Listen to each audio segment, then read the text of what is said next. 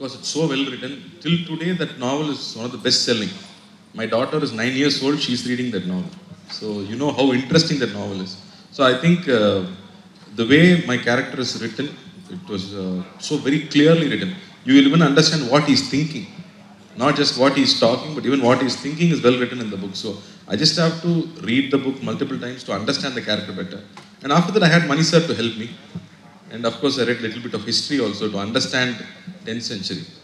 Otherwise, I think every day in the spot, it's preparing with the director. Mani sir knows exactly what he wants from my character. Because he has to be funny sometimes. And the character is a comedy. And mostly historical characters are serious. But in the character is a comedy. So, I had to blend was a little challenging. I had Mani sir to help me out. 40 to 30 percent is real. The main incidents in the movie is actually real. And uh, interestingly, when the book was written, uh, Kalki sir had a friend called uh, Shastri, who's a historian. So as and when he got information about the Chola dynasty, he shared it with him. He was writing his own historical book, but same information was used in this novel also. So, so many characters are real, like Vandiyathevan actually married Kundavai the princess. But we don't know much about Vandiyathevan, but in the book, this character is there, so it's fictionalized.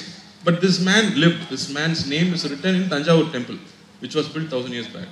So there is fiction and uh, you know reality blended together.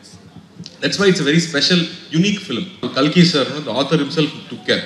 He made sure all three are distributed, and Mani sir made sure all three of us are different. The way he's written each character, the way he made us uh, perform each character.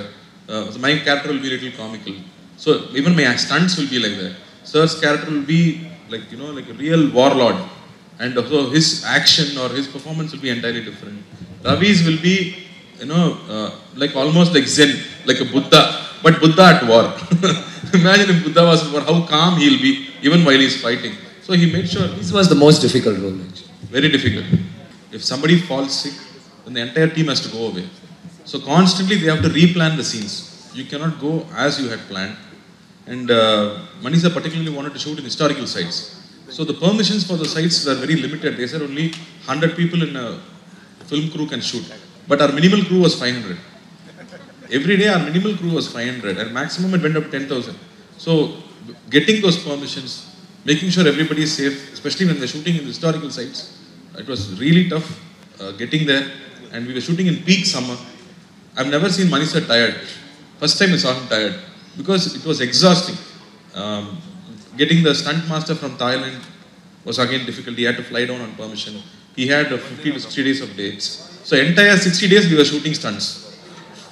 Normally stunts will be spread out. We'll shoot one fight, then we'll shoot some scenes, and then we'll go back to stunts. But here this time we all of us had to do the war sequence or horse riding or running, everything in those crunched 50 days. If COVID wasn't there, then it would have been much more relaxed. Uh, probably would have got even better locations, but I think Mani sir made sure he didn't compromise anywhere. Whatever was required was planned and executed.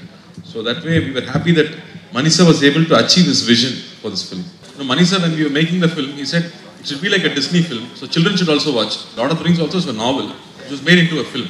So similarly, this also is a novel which is made into a film. And again, Lord of the Rings was written long time back. And then Peter Jackson came and made it into a fantastic thing which the entire world watched. So I'm hoping this film also reaches across the world. I'm not still an actor for him, so assistant director மாதிரி தான் நான் I feel like that even now. And uh, especially this film is Manisa's dream. So I can, every day I would see him being so happy like a child. When a child gets what he loves, how he will uh, cherish it.